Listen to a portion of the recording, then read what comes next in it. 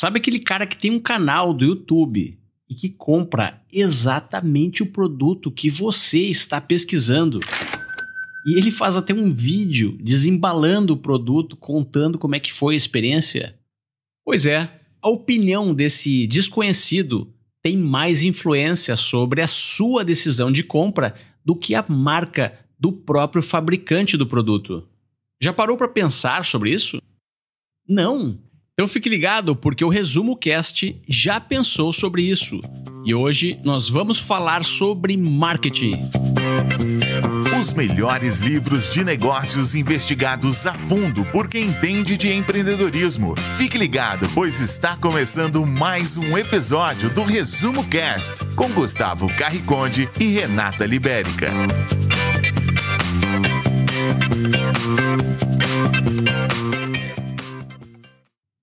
Se você estudou marketing ou qualquer outro curso sobre negócios, como um MBA, por exemplo, com certeza já conhece a obra de Philip Kotler.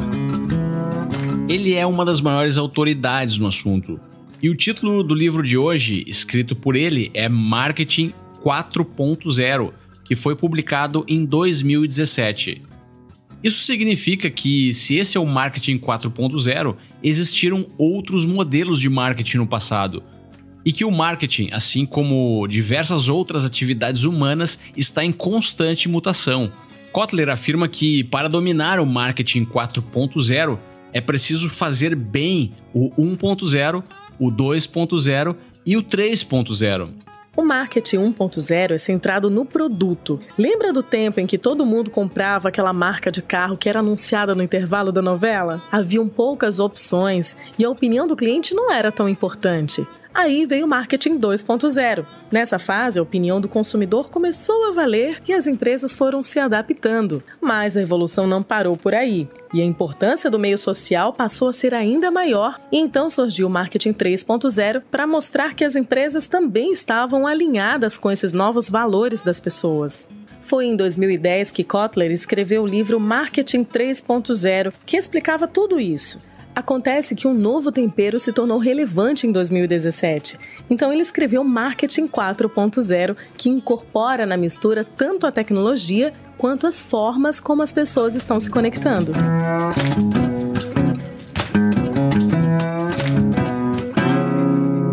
Para nos ajudar a desvendar os segredos desse livro que baliza muitas das ações dos marqueteiros de hoje em dia, eu chamei Norberto de Almeida Andrade. Ele é professor e consultor em marketing digital. Realizou pesquisas acadêmicas focadas em inovação e comportamento de consumo e também é o autor do livro O Principal P do Marketing: Pessoas.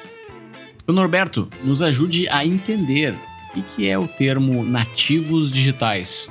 Vamos lá. Bom, na verdade, sim, o termo nativo digital ele descreve uma pessoa que cresce na era digital, né? Ao invés de ele adquirir familiaridade com sistemas digitais como um adulto, né? Porque o adulto nesse caso a gente chama de imigrante digital, né? Tanto o nativo digital quanto o imigrante, esses, esses termos eles foram é, usados em 1996, né? Como parte da Declaração de Independência do Cyberespaço. É, esses termos eles foram popularizados pelo consultor de educação, o Mark Prensky, né, que na verdade ele é um escritor e palestrante americano sobre, sobre educação. Ele tem um, um, um artigo de 2001 que é intitulado Nativos Digitais e Imigrantes Digitais. E nesse artigo ele relaciona o declínio né, contemporâneo da educação americana né, com o fracasso de, dos educadores em entender as necessidades desses, desses estudantes modernos. Então, é, essa mudança, isso a gente já está falando em 2001, né, um artigo de lá. Imagina hoje, né, 17 anos após. Então, é, essa mudança toda estrutural, obviamente, esse, essa mudança de gerações, né, é, ele faz com que todos, todos os setores né, da sociedade tenham que repensar melhor por conta né, da expansão, da, da, desse crescimento exponencial do próprio digital. Uh, existe um termo que é bem legal. O pessoal fala assim, pô, claro que ninguém é nascido digital, né? Como acontece com qualquer tecnologia cultural, visto que a leitura e a escrita ela é uma questão de acesso e educação, né? E justamente a experiência. A questão é o ambiente ao qual uma criança que nasce, como é que ela é inserida nisso? Hum, dá um exemplo prático disso.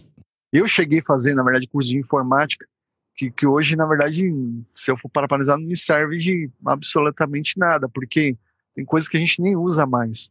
Uma criança que é exposta, né, é, em relação ao digital, ela, ela, ela não tem nem esse discernimento se estou offline ou estou online. Eu apenas estou, estou existe um digital, existe isso é uma extensão da minha vida. É, tem um, um R. Jenkins, na verdade, que é, um, que é um estudioso que fala muito sobre cyberespaço, cybercultura. Ele tem uma frase que eu acho muito legal, né? Que ele fala que essa questão de nativo digital, ela, ela parte do desafio que é, é uma pesquisa de entender a dinâmica de quem exatamente é e quem não é um nativo digital e que, o que isso significa. Né? Então, é, essa mudança toda é, é difícil, apesar de a gente olhar né, para essa, essa transição, nós chegamos num ponto que a gente nem, nem percebe mais. Então, é, tudo que eu posso fazer hoje eu faço no digital. Ele vai tomando uma proporção, né, um nível de aprendizado, né, uma série de coisas que vão tomando parte né, de nós e o, o real e virtual ele acabam se confundindo nesse sentido. Eu acredito que o modelo de compra, né, o modelo de se consumir entre os nativos digitais, é, ele, ele, se torna muito diferenciado, porque, primeiramente, ele sempre busca, a gente vai chegar nisso também, a questão de a influência, aí sim, a questão de, de conteúdo, o que facilita. É, eu não, não necessariamente preciso estar fisicamente em algum lugar, né? Quanto mais eu facilitar a minha vida, melhor. Então, os, os usos e costumes, né, em relação ao digital, ele difere muito. Então, isso faz uma, com certeza, faz muita diferença quando a gente pensa né, na, nas mudanças de gerações, seja um nativo digital ou imigrante digital. Olha que frase interessante do livro. Marketing de conteúdo é o novo anúncio. As hashtags são os novos slogans. Ninguém quer mais consumir anúncios. Hoje as pessoas até aceitam anúncios, desde que venha junto com algum conteúdo, uma dica, uma opinião interessante, uma ferramenta, uma explicação passo a passo, enfim, algo que seja útil para elas, algo que resolva algum problema delas. E as hashtags, que surgiram como uma forma de facilitar a classificação das postagens para os mecanismos de buscas, acabaram se transformando em mais uma maneira das pessoas sugerirem tópicos umas para as outras. Existe uma consultora, uma pesquisadora chamada Rebecca Lieb, e uma frase ela traz assim, ela fala assim, conteúdo é a partícula atômica de todas as experiências digitais, de todas elas. Unindo essa frase dela, eu trago uma frase também no meu livro que fala o seguinte: a produção de conteúdo de online é como ser um orador em uma conferência cheia de potenciais clientes todos os dias. Pois bem, quando a gente une esses dois conceitos, é, conteúdo é algo muito profundo. Né? Às vezes se banaliza isso em, em diversos formatos, seja em book, vídeo, vlog, blog, enfim nem sempre aquilo supre ou é muito superficial também é, na entrega. Então existe uma expectativa, existem algumas coisas que quem consome isso, ele espera sempre mais. Dependendo do que você vai entregar, óbvio, é, às vezes a sua entrega é muito satisfatória, você consegue um bom número de clientes, porque tem coisa que não precisa ser tão aprofundada. Quando a gente fala na, na, na questão da própria do significado de conteúdo, você é você ser abrangente, é você trazer de fato uma, uma, uma, modificação, trazer algo que traz por si só um encantamento. Né? As pessoas vão ver que você é, é autoridade naquilo. Você já ouviu falar de funil de vendas? Muito provavelmente sim. É uma palavra bastante aí usada pelos marqueteiros e gurus hoje em dia. Mas um funil de vendas é um conceito muito antigo e ele é baseado no comportamento das pessoas e no estágio que elas estão durante a sua jornada de relacionamentos com uma marca ou uma empresa. O livro Marketing 4.0 apresenta algumas sugestões de etapas para dividir um funil de vendas. E elas são assimilação, atração, arguição, ação e apologia. Os cinco As. Vamos ver cada uma delas. Na assimilação, os consumidores entram em contato com a sua marca através de recomendações ou alguma ação de marketing. Na atração, somente as marcas mais atrativas conseguem se destacar. Na arguição, os potenciais compradores pesquisam sobre as suas marcas em diversos canais, como mídias sociais, sites especializados e até em canais do YouTube. O A de ação é o momento que é feita a compra, baseada em dados dos estágios anteriores. E finalmente o A de apologia, que é o nirvana de toda a marca. É quando alguém que era só um cliente vira um defensor da sua marca, ponto que passa a te recomendar para os seus conhecidos. Hoje em dia, os canais que as pessoas usam para se relacionar com as empresas estão totalmente misturados. Os clientes não se importam mais como irão fazer a compra, se é online, se é offline, não importa, desde que a experiência seja positiva. Imagina uma pessoa que assiste um anúncio na TV de um eletrodoméstico. Ela sai da TV e vai direto para a internet pesquisar tudo sobre ele. Depois ela vai até a loja só para sentir o produto nas suas mãos e finalmente tomar a decisão de comprar ou não. Olha quantos canais esse consumidor frequentou até tomar a decisão de compra. Quem aplica o marketing 4.0 sabe que é importante estar presente de forma positiva em todos os canais que vão fazer parte dessa jornada de compra do cliente. Essa mistura de canais é chamada de Omnichannel. Lembra dos 5 As? Assimilação, atração, arguição, ação e apologia? Pois é, em cada um desses estágios, talvez o consumidor utilize um canal diferente para se relacionar com a sua marca. Mas ele não vai conseguir diferenciar que está transitando entre um canal ou outro. Ele vai estar ali, somente na sua jornada. E se você cometer algum deslize com a sua marca em qualquer um dos canais, isso vai afetar diretamente o seu retorno sobre investimento e marketing. Quando a gente fala de marketing omnichannel, o omnichannel, na verdade, é um modelo de negócio, uma estratégia de conteúdo entre canais que as empresas usam para melhorar a experiência do usuário, né? Então, assim, para ser omnichannel, uma estratégia não precisa suportar todos os canais possíveis, né? Porque é uma impossibilidade prática. Mas uma vez que eu estou naqueles determinados canais, está bem delineado dentro da minha comunicação integrada, que eu fale por ali, que eu venda por ali, que eu dê retorno por ali.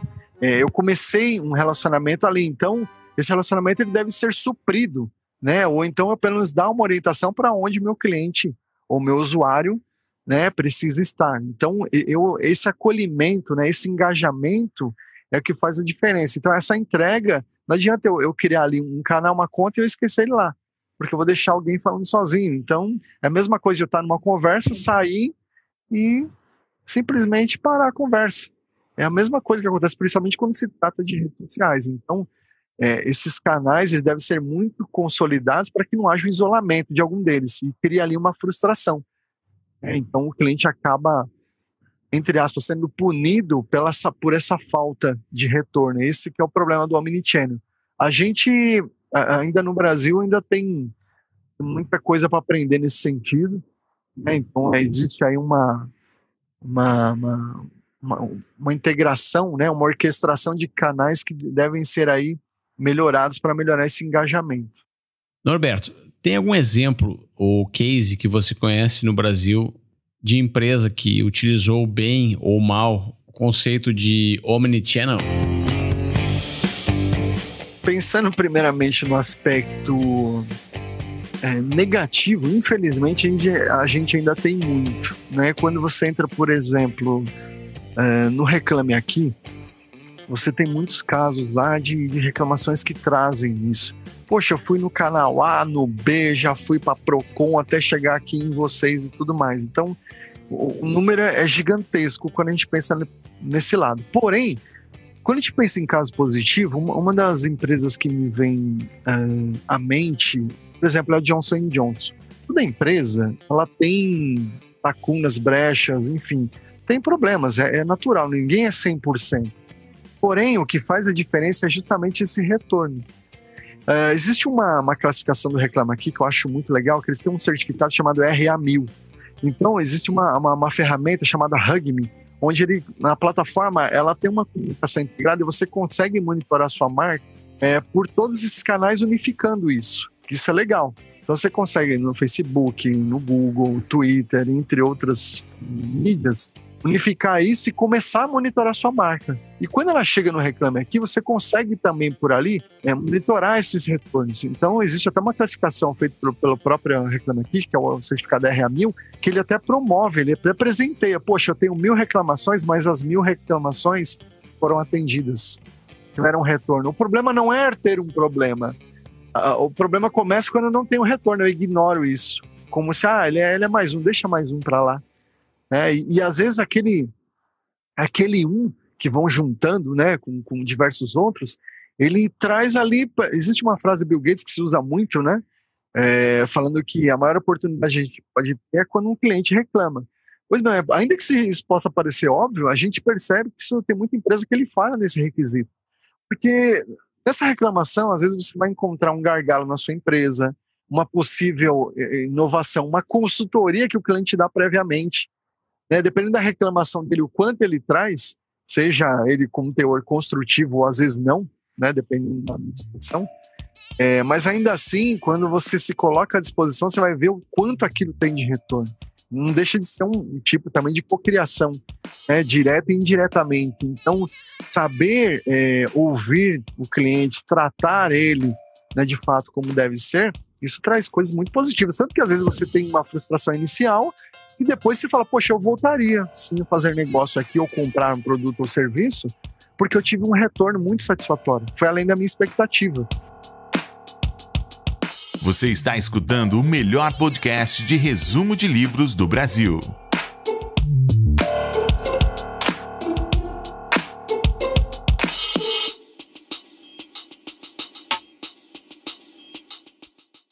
Os marqueteiros 4.0 dos dias de hoje não podem deixar de explorar essas três táticas que, segundo o livro, têm um impacto imenso nas decisões de compras e nos comportamentos das pessoas.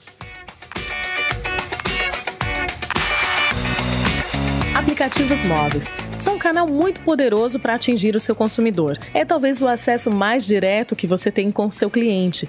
Todos nós andamos com os nossos smartphones nos bolsos. Estar no bolso do seu potencial cliente é uma vantagem muito grande e pode fazer toda a diferença nos dias de hoje.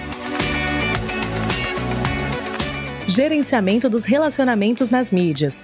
Esse conceito está associado a utilizar as mídias para conversar com o cliente. As vantagens são melhorar a percepção da marca, esclarecer dúvidas, prestar suporte técnico e gerenciar reclamações e crises e finalmente utilizar a gamification, que servem para aumentar o engajamento dos consumidores com as marcas e incentivá-lo a tomar a decisão de compra. O exemplo mais conhecido é das companhias aéreas, que recompensam os passageiros através de pontos e milhas. É como se fosse um jogo onde o cliente vai consumir mais do seu produto ou serviço para acumular pontos e voltar novamente para utilizar os pontos.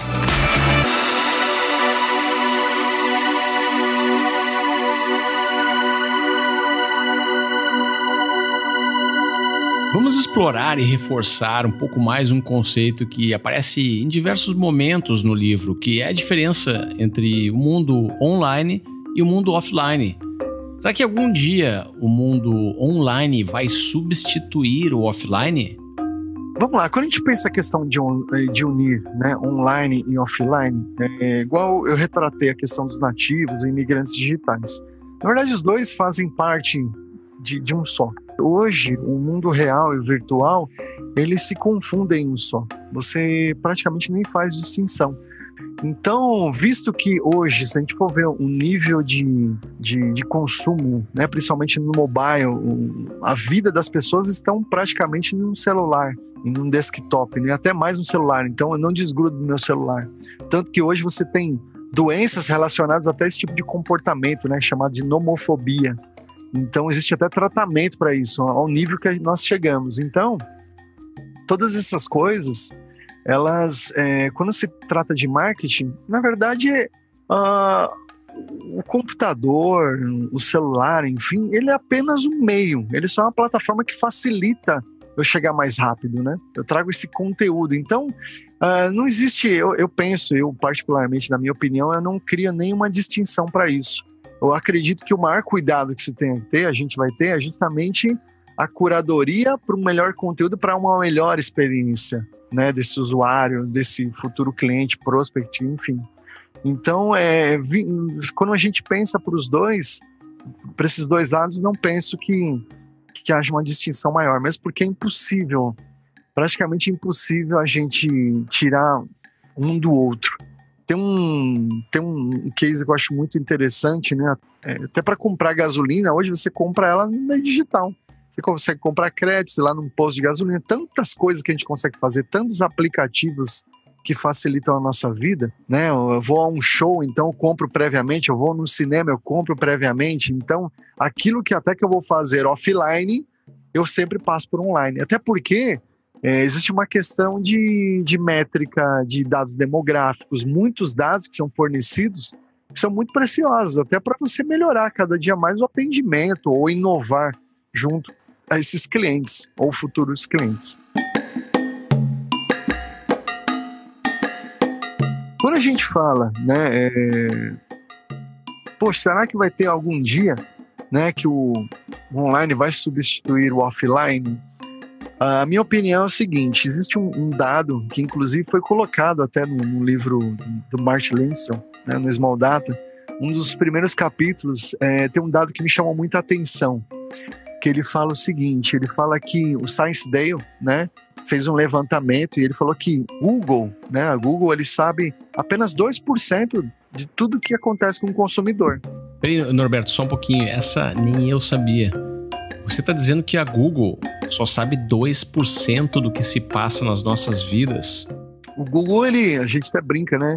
Ah, o Deus Google, ele sabe tudo, né? Ele é onisciente, onipresente, onipotente, né? Em vista da abrangência, o quanto ele ele carrega de dados, o quanto ele sabe das coisas, o quanto ele nos responde muitas coisas através de, de terceiros, obviamente.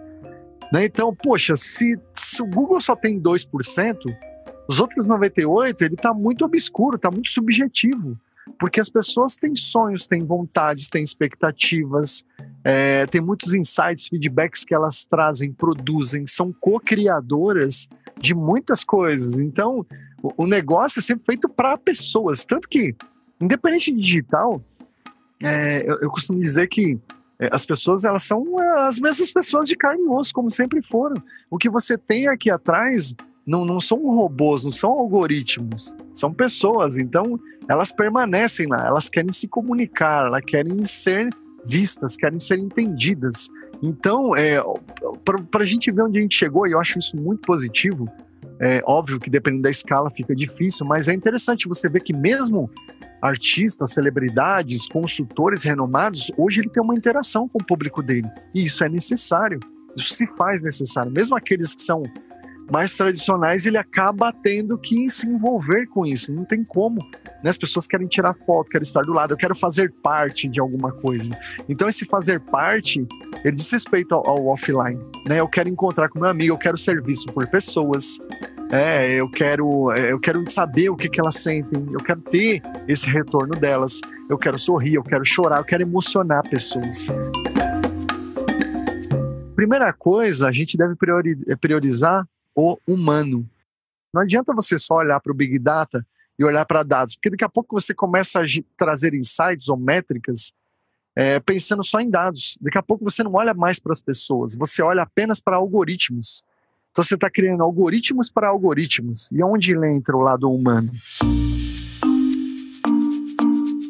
Tá, mas vamos ver agora umas diferenças básicas da era do marketing 4.0 para as outras. E uma das coisas é a possibilidade de medirmos tudo. Tudo hoje em dia é mensurável. O clique no Google, as páginas que você visita no Facebook, os vídeos, a quantidade de tempo que você assiste no YouTube e até mesmo quantas vezes você baixou esse podcast. Se você é um empreendedor ou tem alguma ideia de empreender algum dia, saiba que essas ferramentas estão todas disponíveis para você utilizar nos seus empreendimentos. O livro de Kotler traz duas medidas ou duas métricas importantes para todo marqueteiro de hoje em dia. que é o par e o bar. Calma, o par é o Purchase Action Ratio, ou taxa de ação de compra, e o bar é o Brand Advocacy Ratio, que é a taxa de defensores da sua marca. Tá bom, tá bom, então vamos ver alguns exemplos. O par, ele não é uma novidade. Ele mede o retorno sobre o seu investimento de marketing, baseado na taxa de conversão, ou seja, de todos os clientes que o seu marketing conseguiu impactar, quanto por cento deles compraram. O bar é um conceito interessante que o livro traz. E a ideia é medir quantos defensores da sua marca você tem. Quem quiser ir mais a fundo, o livro descreve com detalhes as fórmulas e as formas práticas de implementar esse cálculo. Olha que interessante, e esse é um dos fatores determinantes que diferenciam o marketing 4.0 dos outros, que é a importância dada àquele último cliente do funil. Então, mesmo depois de ter realizado a compra, ele tem um papel determinante para os negócios que terão sucesso no futuro, pois esse cliente é que vai se tornar um vendedor da sua marca. É ele que vai causar o aspecto viral das suas vendas, porque ele vai recomendar o seu produto ou serviço para todo mundo que ele conhece. E quem não gostaria de ter um cliente como esse? Quantos clientes como esse você quer ter no seu negócio? Então, se você tem um empreendimento ou está iniciando um, pergunte-se quantas pessoas defendem a sua marca.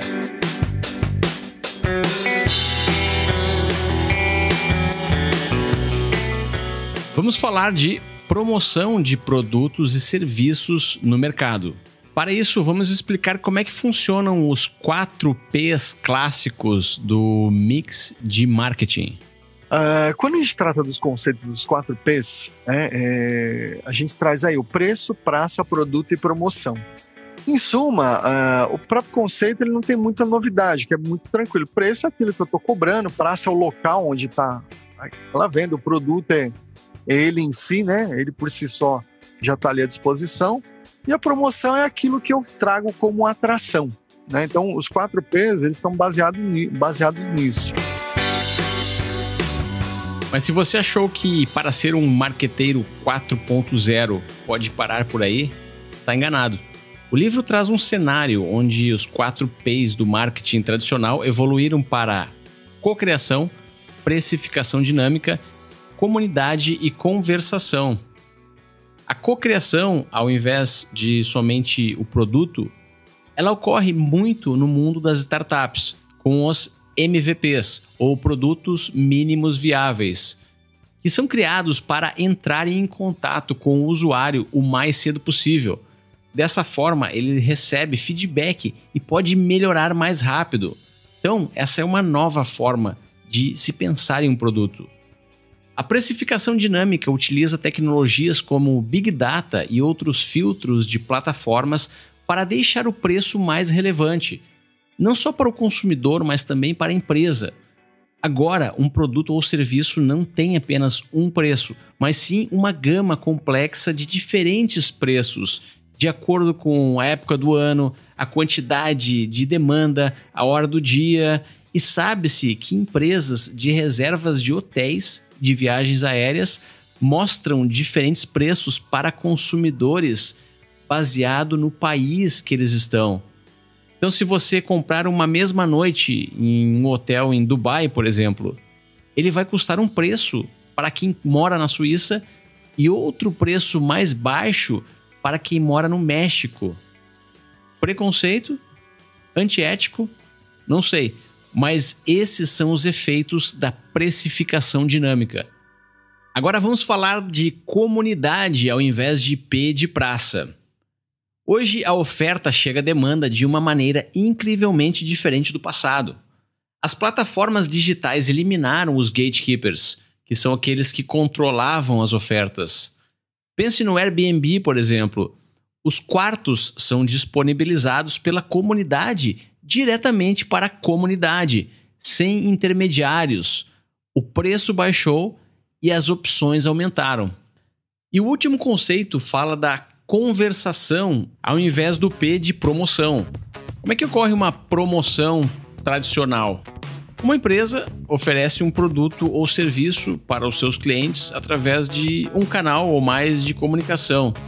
Mas esse canal é uma via de mão única. Hoje, tudo está diferente, não é mais tradicional. Os sistemas de avaliações permitem que os próprios consumidores promovam produtos para outros consumidores.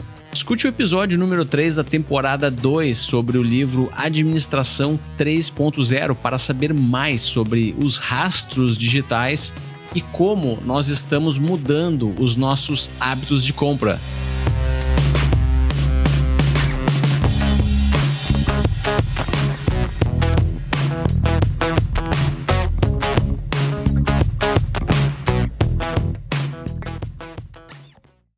Já ouviu falar do momento wow? É quando o vendedor entrega mais do que o cliente comprou. Não é maravilhoso isso? Mas isso não quer dizer que se você vende um carro, deve entregar dois pelo preço de um. Entregar mais quer dizer que o seu cliente deve receber mais valor do que apenas um carro. E o valor está relacionado com a experiência, com pós-venda, com a manutenção, um suporte técnico com o ganho de status que alguém vai ter ao consumir a sua marca. Esse é o tão famoso e popular over delivery e é importante para aumentar aquela métrica que falamos, o bar. Esse é o diferencial das empresas que duram mais e destacam-se nos dias de hoje. Olha o exemplo dos fãs de motocicletas Harley Davidson. Que você acha que esses consumidores compram uma moto tão cara? Eles fazem isso para entrar no clube de donos de Harley. E o status associado a isso é um valor que supera e muito o preço pago pela motocicleta. Vamos recapitular alguns conceitos sobre o marketing 4.0 e os outros modelos, se assim eu posso chamar. Então, a princípio, assim, se fosse resumir, né, o marketing lá 1.0, ele é sempre centrado, naquele momento, centrado só apenas no produto, apenas vendo algo. No marketing no, no, no 2.0, você já tem um marketing concentrado no consumidor, né? No sentido de satisfazer e criar uma fidelidade de marca e tudo mais.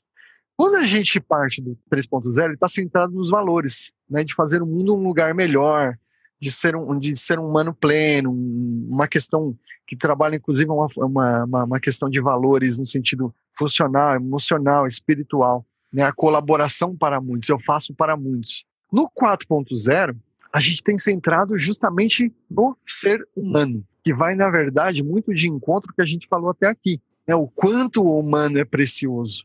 Então, você tem consumidores interagindo com os produtos, ele é que cria junto, ele dá ideias, por isso que hoje essa questão de trabalhar design thinking, um X, entre outras ferramentas, trabalha justamente esse conceito. Eu trabalho prototipações, né?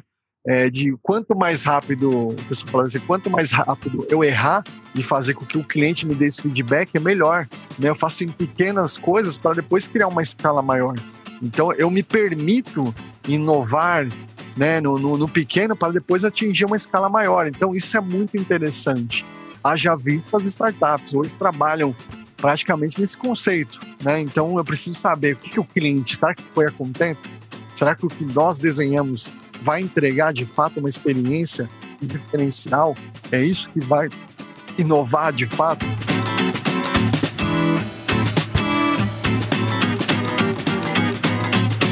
Mais alguma coisa que você quer falar sobre marketing e o contexto que vivemos aí no momento atual no Brasil? Você sabe o que, que eu vejo que tem acontecido muito em relação ao termo? É o seguinte: essa questão de marketing digital, eu acho que o pessoal, eu não sei se o, o jeito que é visto o marqueteiro ou o próprio marketing digital, às vezes você tem, um, tem algumas pessoas ou profissionais, né, vamos dizer assim, entre aspas, é, que faz muito away com mágica, sabe? Alcance um milhão, transforme, ganhe 3 milhões em duas horas. Então, às vezes, o termo tá tão de marketing digital às vezes está tão calejado, ou talvez um pouco deteriorado, por incrível que pareça, que o pessoal tem muita gente abraçando agora, não, agora eu sou growth, né? sou growth hack, eu sou diferente, eu faço seu negócio crescer exponencialmente e tudo mais, e aí você vai ver que não é bem assim. Porque o growth hacking, ele, ele trabalha muito mais do que uma performance. Você tem uma equipe, você tem um corpo, você tem uma inteligência que vai muito além disso, né? De, de, de simplesmente fazer campanhas e sair performando com números estratosféricos. Porque se fosse dessa forma, qualquer startup, obviamente, você recontrataria um growth amanhã. Pô, qualquer coisa que eu quero é meu negócio ser escalado. Muito bem. Uma mensagem para finalizar, Norberto. Eu queria convidar você a, a entrar no meu site, que é o craniodigital.com.br Lá, na verdade, você vai ter né, a biografia, tem um livro que eu lancei também lá, né, de forma resumida também, que é o principal P do Marketing Pessoas, lançado agora na Bienal 2018. E um livro que eu lancei também junto com pesquisadores, o Instituto Brasileiro de Pesquisa e Análise de Dados, o IBPAD, onde a gente trabalha também estudos e culturas de mídias sociais. Para quem não sabe, eu sou professor, sou consultor também de marketing digital. Eu sou membro do Google Campus São Paulo, né, próximo aqui do metrô Brigadeiro. Trabalho com projetos digitais, atendo algumas startups. E o que eu puder ajudar, fico à disposição para contribuir. Sejam dúvidas, enfim, fiquem à vontade, eu fico à disposição. Muito obrigado. Vamos ficando por aqui nesse episódio do Resumo Cast. Eu gostaria de conversar um pouco sobre podcasts. Eles são um formato de programa em áudio que está se tornando cada vez mais popular no Brasil. O crescimento do podcast no Brasil é impressionante. Eu consigo ver isso através aqui dos números do próprio Resumo Cast. E a grande vantagem do podcast é que você pode baixá-lo no seu smartphone e escutar quando bem entender. Eu sou um grande defensor dos podcasts. Se você está escutando esse áudio em um outro local que não é um podcast, como por exemplo no YouTube, eu lhe convido para acessar resumocast.com.br. Lá tem uma opção para assinar gratuitamente o nosso canal pelo aplicativo de podcast da sua preferência. Também gostaria de lhe fazer um convite para conhecer um projeto que eu faço parte, que é uma plataforma que reúne diversos outros podcasts sobre diversos outros assuntos e ela chama dicascurtas.com.br. Então, são programas curtos, geralmente de 10 minutos, que falam sobre finanças, saúde, esportes, concursos públicos, enfim, uma gama de diversos assuntos, todos eles apresentados por experts em cada área, que vão ajudá-lo a aproveitar o seu tempo de forma mais produtiva, assimilando conteúdos e o melhor de tudo é gratuito. Fica a minha recomendação então, acesse dicascurtas.com.br. Finalmente, no próximo dia 21 de outubro, temos o Dia Nacional do Podcast no Brasil. Se você está escutando esse episódio antes de 21 de outubro, fique ligado, pois o Resumo Cast trará algumas surpresas nesse dia e nessa semana do Dia Nacional do Podcast. Por hoje é só, um grande abraço aqui de Dubai e até o próximo episódio.